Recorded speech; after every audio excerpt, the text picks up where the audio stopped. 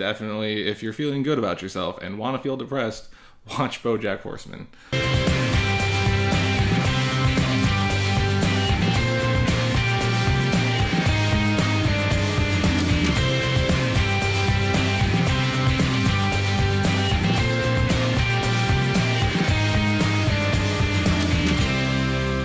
Welcome back to Re:Wine with B. Schwitty because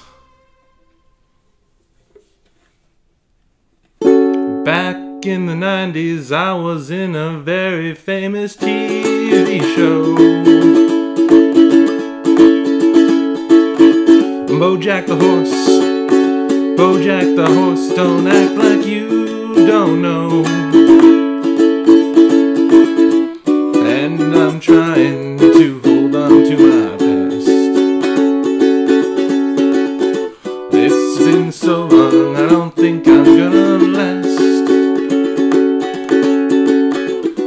guess I'll just try to make you understand that I'm more horse than a man.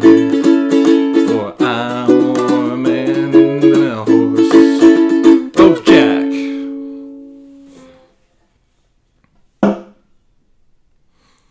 On today's episode, well, first I want to apologize for uh, taking four episodes off. I, I do really apologize.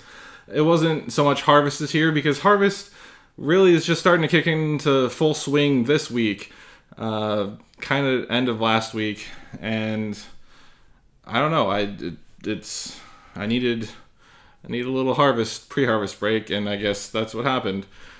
Uh, I I do apologize for for those of you that watch every day that it's supposed to come out Monday, Wednesday, Fridays, the day it comes out, 10 o'clock. I, I'm super sorry to you folks. I'm really sorry to those of you that were were always try to catch up on time. Four episodes gone, but the Tournament of Power, the Costco signature brand Tournament of Power, is going to be this Friday. I swear it. It will happen. I'm going to record it after this block of Monday, Wednesday, probably. Um, either way, though, it is going to be on Friday of this week. I promise you, and we'll go over the next four weeks. Today, though, we're going to jump back to some Kirkland signature uh, Toscana. Get us, get our palates cleansed and, and ready for for the upcoming tournament, and we'll talk about ten facts about Super Tuscan blends.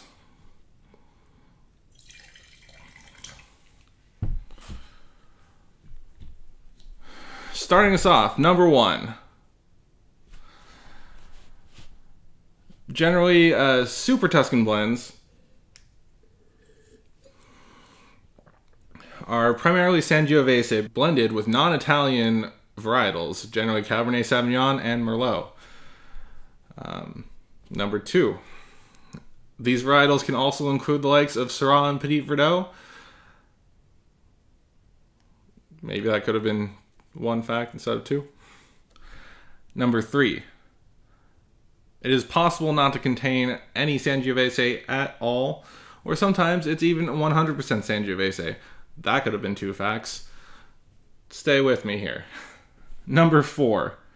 In the mid 1970s, producers in the DOC of Chianti found the restrictions of the DOC too limiting to make wine in and made Super Tuscan blends uh, that had to be labeled under the Vino da Tavola or table wine designation in Italy, uh, one of the lowest, if not the lowest, of Italy's wine designations.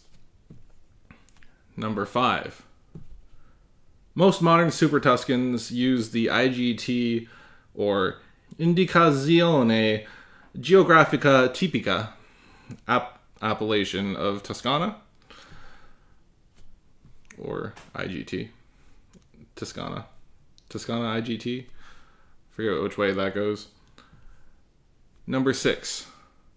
Toscana can be made in any of the 10 provinces of Tuscany, including Pisa, Firenze, and Siena. Uh, number seven.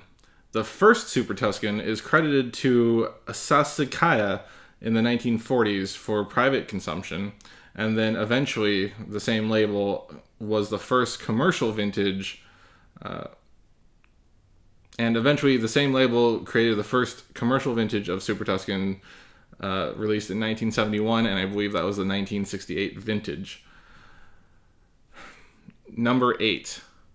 Many well known Super Tuscans are based on Bordeaux blends.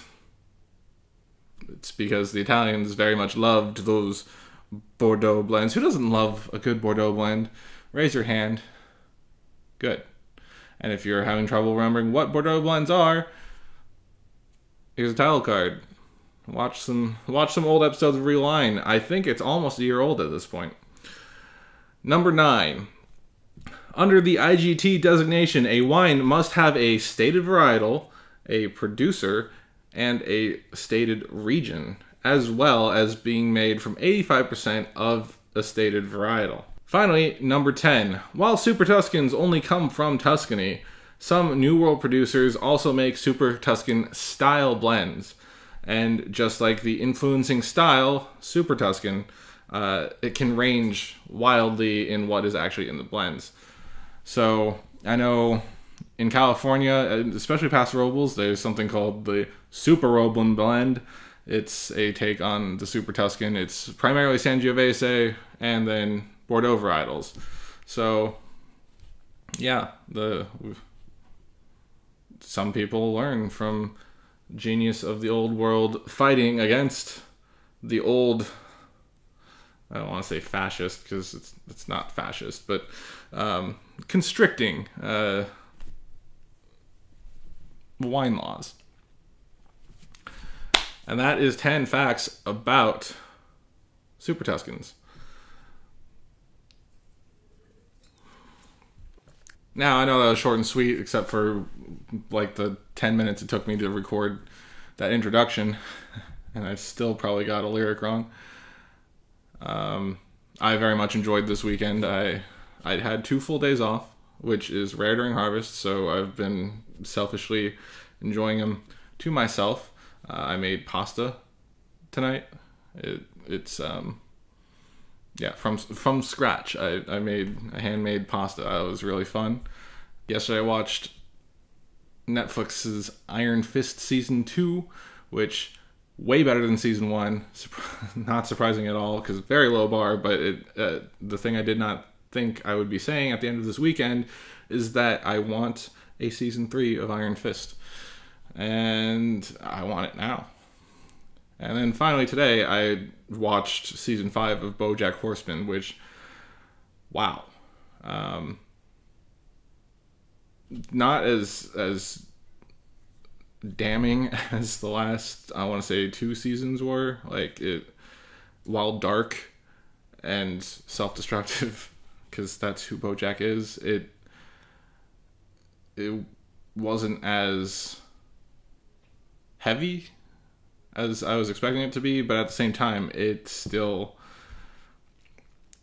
you don't leave watching that show uh, feeling good. Uh, but it is a great examination of, of mental health and self destructiveness. And um, definitely, if you're feeling good about yourself and want to feel depressed, watch Bojack Horseman. love Alison Brie, love Will Arnett, Aaron Paul, uh, fantastic cast. It's it's brilliant. Anyway, this is a show about wine. I just want to connect with you guys out there and let you know that I'm okay. I hope you are too. Uh, Wednesday, it's a surprise, but it's one of those stupid national days that is really stupid. So we're going to do a BuzzFeed quiz, and it's going to have nothing to do with wine. But please come and join me for it because our yeah, National Talk Like a Pirate Day. And then Friday, join us for the two week delayed start of the Costco Kirkland Signature Brand Tournament of Power! Because, I'm sorry if that spiked, um, it's going to be fun. It's going to be Kirkland. It's going to be Kirkland Signature Brand. It's going to be Costco wine.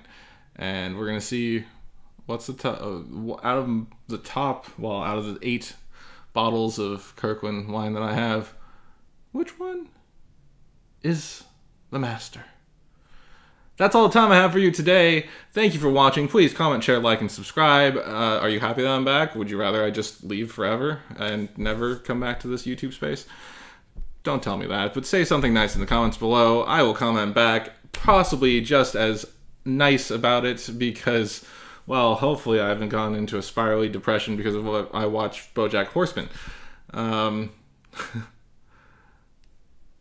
anyway, this has been Re:Wine. My name is B. Schwitty. I love each and every one of you out there. Thank you for sticking with me. I will catch you next time.